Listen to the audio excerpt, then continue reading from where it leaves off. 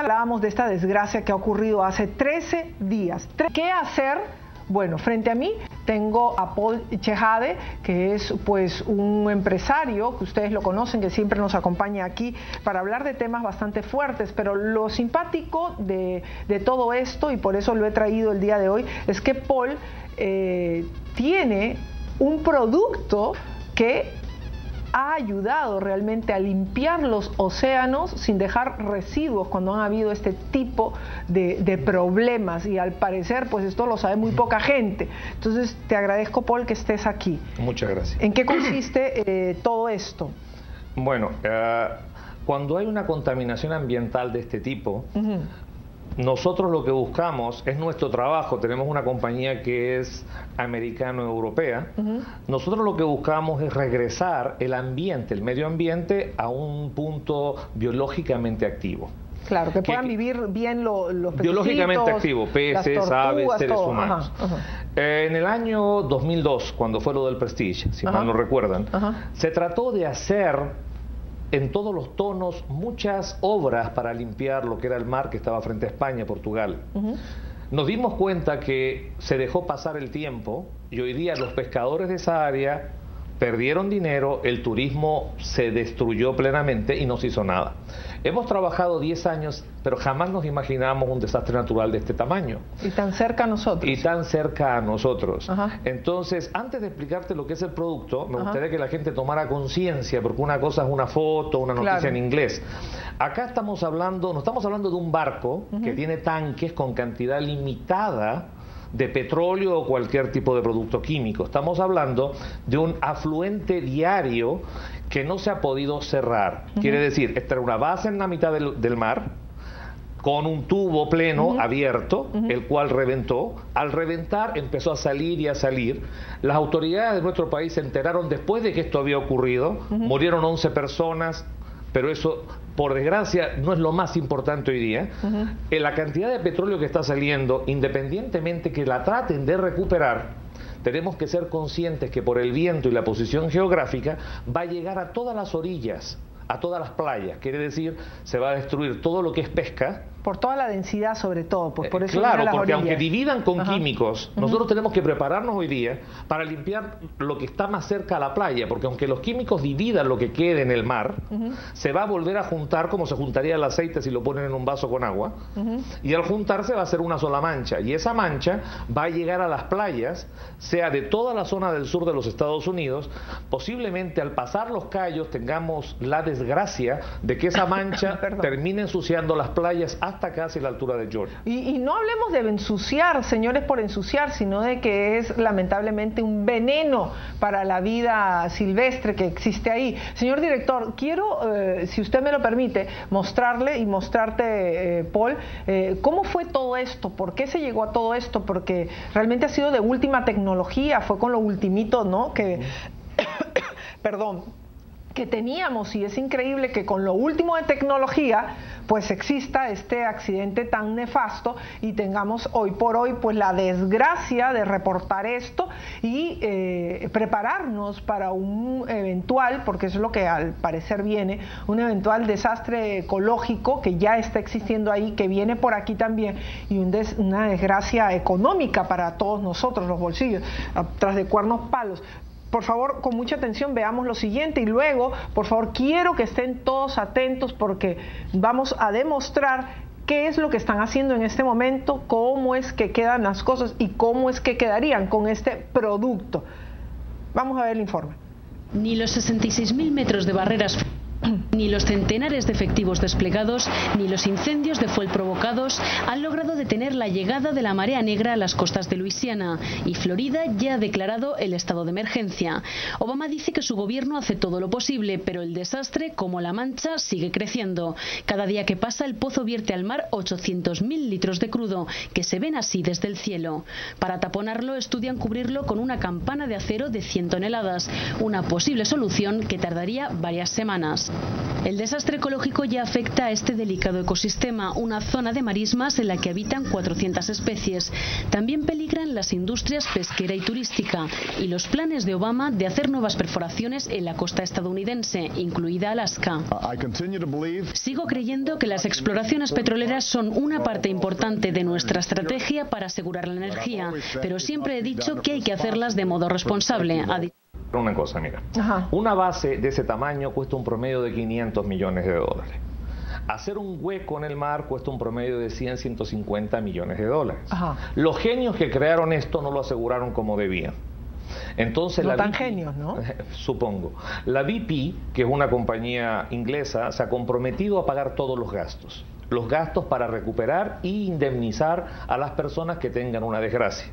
La problemática real, según lo que yo vi con mis ojos en España, es la siguiente. Los pescadores se quedaron sin trabajo el turismo en el sur de los Estados Unidos y la Florida va a ir decayendo de tal manera porque nadie va a venir a playas llenas de petróleo en su arena.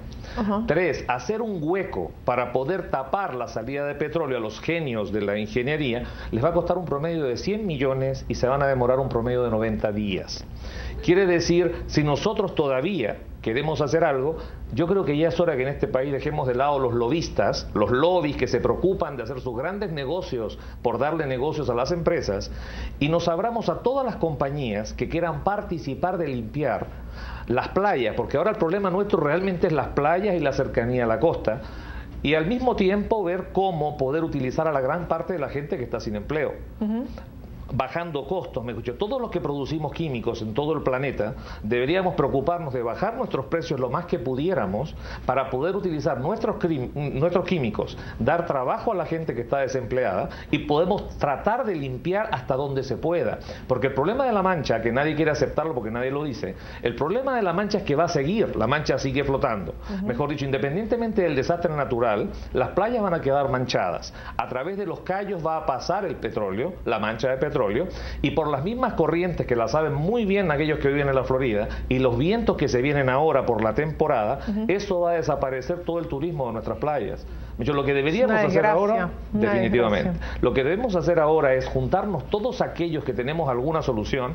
Nosotros trabajamos en lo que es descontaminación principalmente en Europa, en Europa, en África, en otros lugares del mundo.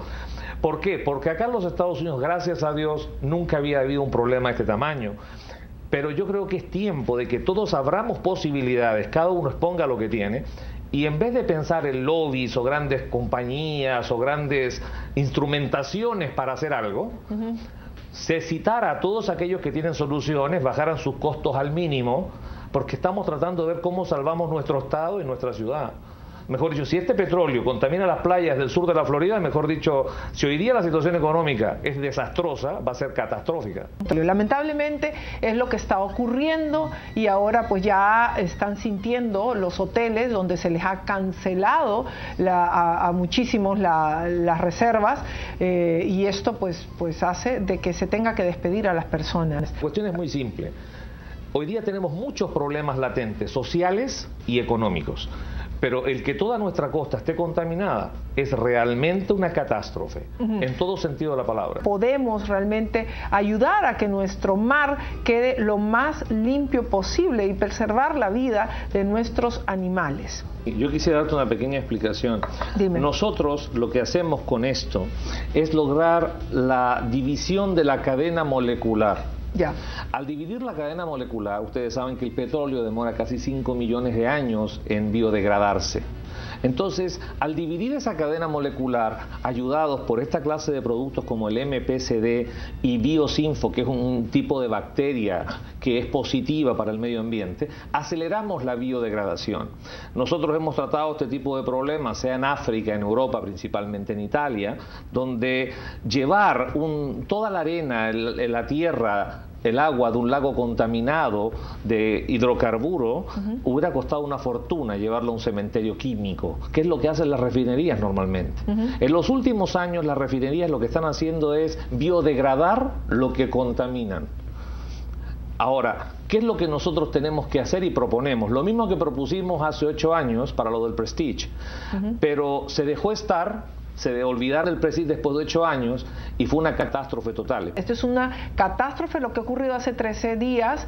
Están tratando por todos los medios eh, posibles de tratar de mermarlo, pero esto tiene graves repercusiones económicas. Aquí nos vamos a quebrar económicamente y ya nos estamos quebrando y va a haber más desempleados. El desastre que ha habido envuelve a varios estados. Por consiguiente es un desastre nacional. Al ser un desastre nacional, el presidente de los Estados Unidos, al igual que aquellos que manejan a nivel nacional la situación como país federal, porque queramos o no somos un país de muchos estados juntos, tienen que tomar decisiones. Si las decisiones de limpiar cada playa va a estar acorde a cada condado, vamos a tener un problema de amigos y amigos que nunca nadie va a llegar a hacer nada. Acá lo que yo puedo hacer es invitar a todos los productores de productos químicos en todo el planeta y que cada uno trate de bajar sus costos lo más posible y proponga una solución de tal manera que al mismo tiempo que vamos a dar empleo, vamos a poder limpiar nuestra costa y vamos a tener playas como las conocemos hasta el día de hoy. Porque a partir del próximo domingo, según las imágenes del satélite, ya los callos que son bellos van a estar manchados de petróleo. ¿De qué manera podemos nosotros realmente limpiar con estos productos? Acá tenemos, por ejemplo, lo que es aceite quemado. ¿Qué vendría a ser el petróleo? vendría a ser el petróleo. Entonces echamos tres gotitas, ¿no? para que tú veas cómo va a quedar el problema. Hacemos lo mismo acá. Ahora, lo que yo quiero explicar es lo siguiente. Imaginemos que esa es una contaminación. Hoy día se están usando muchos químicos y hay que tener mucho cuidado porque son tóxicos e irritantes.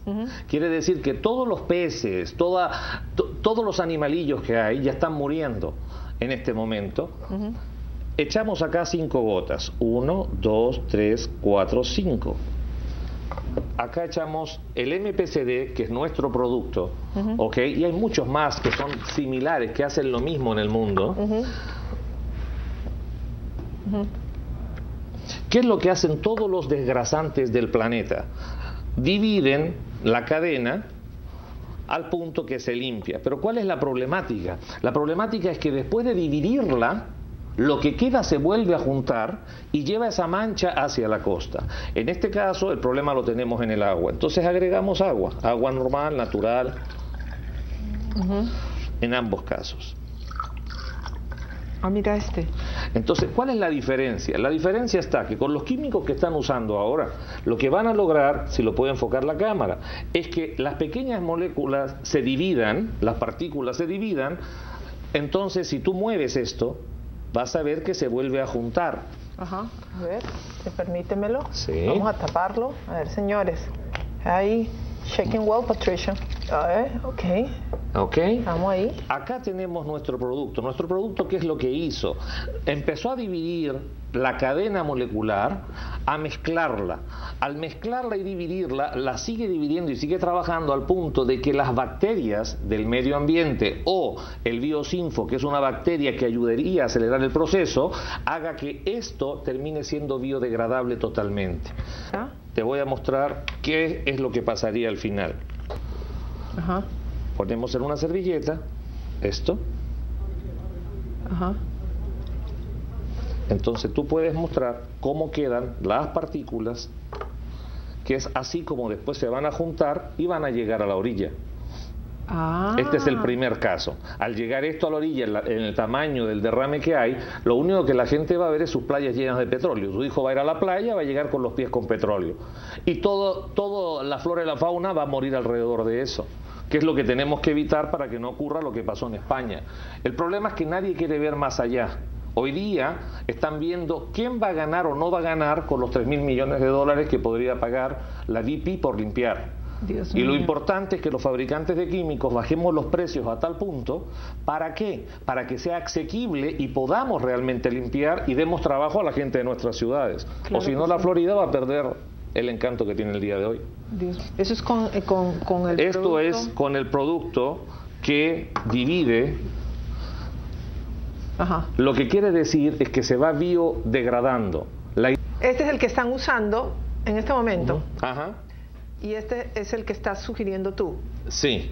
Ahora, quiero que la gente tenga claro que solamente con un proceso de echar un producto para dividir la cadena molecular no se va a llegar al punto de la biodegradación. En un proceso de este tipo necesitamos algo que divida la cadena molecular y al mismo tiempo eh, tenemos que ayudarnos con bacterias. Ahora, nosotros proponemos, porque en Europa, como es más pequeño, tenemos problemas de contaminación como los Estados Unidos. La diferencia es que no hay donde dejar lo que no sirve. Hoy día, por primera vez en la historia en nuestro país, se destruye casi todo el sistema de playas y casi toda la pesca. Por consiguiente, es tiempo de que limpiemos la orilla. ¿Cómo se hace? Se echa este tipo de producto, este producto hace la división que tiene que hacer, usamos herramientas, maquinarias para que vayan moviendo la arena sin tener que transportarla a ningún lugar, agregamos las bacterias que son positivas para el medio ambiente, ¿ok? Y con eso volvemos todo el sistema a lo que era anteriormente. Es la única solución que es, que, es lógica y que llevaría a la solución. Y tú sabes de que yo me he quedado sorprendida, esperemos de que realmente las autoridades eh, hagan lo que deben de hacer. ¿Cuál es tu teléfono para contactarte o dónde te deben de contactar? Pueden ver lo que nosotros hacemos. Nuestra compañía es la A Construction and Development. Acá en los Estados Unidos nos representa Vanguard Technologies. Mejor dicho, nosotros somos un grupo de sociedades europeas y americanas que trabajamos en conjunto. Nos hemos conocido anteriormente porque dedicamos gran parte de nuestro trabajo a servir a la sociedad con una fundación que es Solidari. Sí, eso lo sé. En este caso, la compañía compañía Vanguard Technologies, cuyo presidente es el señor Diego Suárez, es un señor cubano conocido, es un señor respetable, es quien representa nuestros productos y nuestro sistema.